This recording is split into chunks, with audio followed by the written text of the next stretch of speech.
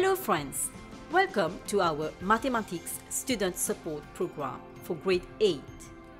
Our topic for today is Statistics, Part 2. You will remember that in the previous lesson we have learned how to interpret pie charts. In this lesson we will learn how to draw a pie chart. Now for this lesson you will need to remember how to measure angles using your protractor. In grade 7, you had learned how to measure and draw angles using your protractor. So angles in a pie chart. Consider the table below. It gives the information about the favorite fruit which the students of grade 8 Gerbera prefer. So you have your table here. Mango, you have 12 students. Kiwi, 6 students avocado 5, banana 8, and apple 5. Now we are going to use this information to draw our pie chart. Remember that the sum of angles in a pie chart is 360 degrees. Now the total number of students will be 12 plus 6 plus 5 plus 8 plus 5 which gives us a total of 36. So we have 36 students in the class. Now these 36 students will represent 360 degrees, that is the sum of angles in a pie chart. One student will represent 360 degrees over 36, that is 10 degrees. So each student will represent 10 degrees. We are now going to construct a second table where we will include the angles representing the different fruits. So for 12 students, it's going to be 12 times 10 degrees. Remember, one student represents 10 degrees. So this gives me 120 degrees. For kiwi, it's going to be 6 times 10 degrees, 60 degrees. Avocado, 5 times 10 degrees, 50 degrees. For banana, 8 times 10 degrees, 80 degrees. And for apple, 5 times 10 degrees, that is 50 degrees. We are now going to use this information to construct our pie chart. So if you recall, to draw an angle, first I need to draw a line. I have my vertex. I use my protractor to measure the required angle and then I'm going to draw a line. So here, for example, if I need to measure an angle of 120 degrees, so using my protractor, I'm going to read 120 degrees and I draw a line. So for the first sector, mango, it is in fact 120 degrees. So I have my sector here measuring 120 degrees. Mango, 120 degrees. Now for kiwi, I measure 60 degrees. So here it is, kiwi, 60 degrees. In the same way, I'm going to measure for avocado, 50 degrees. Banana, 80 degrees. And for the last one, it should be 50 degrees. You need to check. If it is 50 degrees, it means that you have correctly measured the other sectors. If ever you do not get 50 degrees here, the last angle for the last sector, this means that you have most probably not measured one of the sectors correctly. So the last one is apple 50 degrees. So this is my pie chart, but it is not complete. You need to give a title to your pie chart. So the title here is Favorite Fruit of Students of Grade 8 Gerbera. There is a caution for you. Always label your sectors and do not forget to insert the appropriate angles as you work. Do not wait until you have measured all the different sectors and then you start labeling and writing the angles. You might forget which sector correspond to which angle. You must also include a title for your pie chart.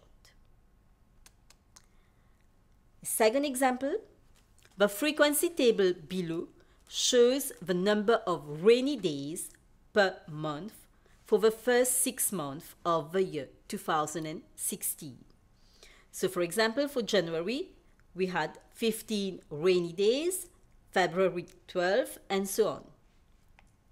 I need to express the number of rainy days in February as a fraction of the total number of rainy days during the first six months of the year.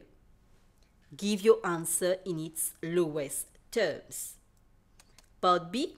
Express the number of rainy days in March and April as a percentage of the total number of rainy days during the first six months of the year. Part C. What is the ratio of the number of rainy days in January to that in March? Give your answer in its simplest form. And part D. Draw a well-labeled pie chart using the above frequency table. So let us have a look at the solution. This was the given table. Part A, I need to express the number of rainy days in February as a fraction of the total number of rainy days during the first six months of the year. So the total number of rainy days will be the sum of all these different numbers. So I have 15 plus 12 plus 10 plus 12 plus 16 plus 7 that is 72 in total. The number of rainy days in February was 12. Now, if I have to express this as a fraction, I will have 12 over 72 and reduce to its lowest term. This gives me 1 over 6. Part B. Express the number of rainy days in March and April as a percentage of the total number of rainy days during the first six months of the year.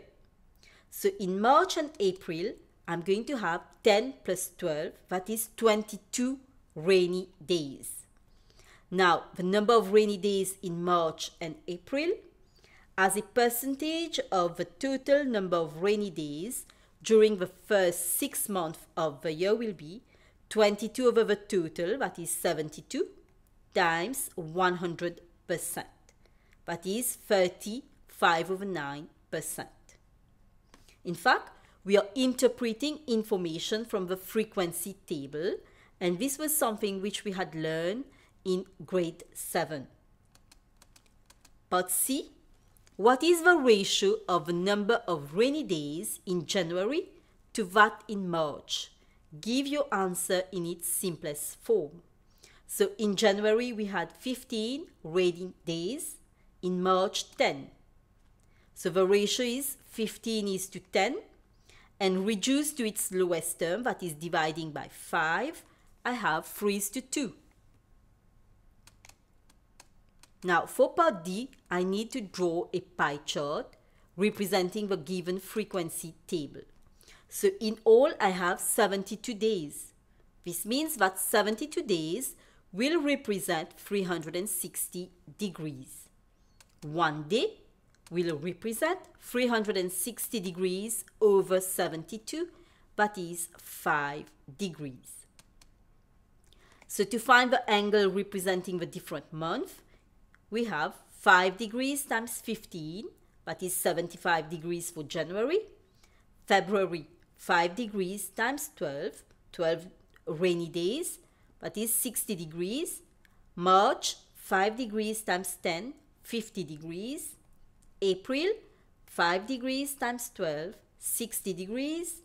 May, 5 degrees times 16, 80 degrees. And for June, 5 degrees times 7, that is 35 degrees.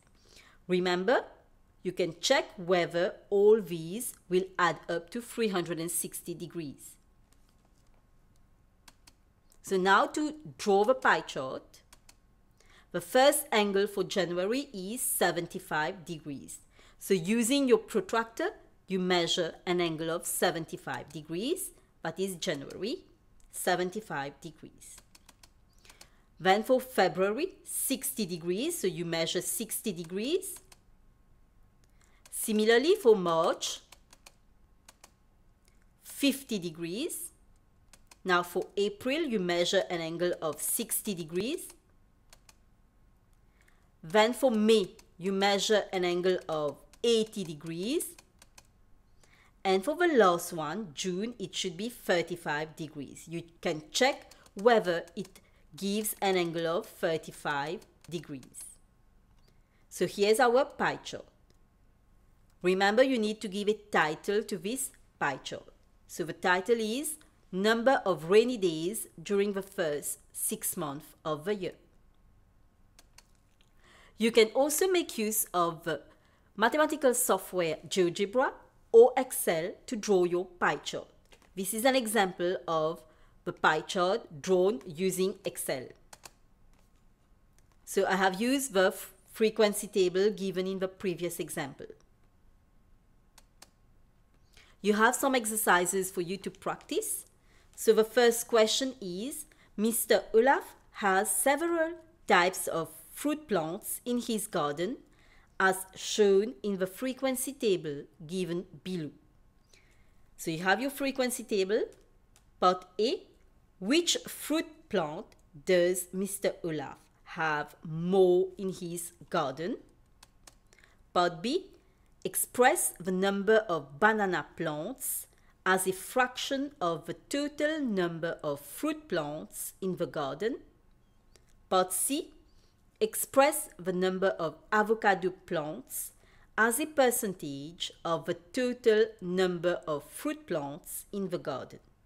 And part D, you need to use the above information to draw a pie chart.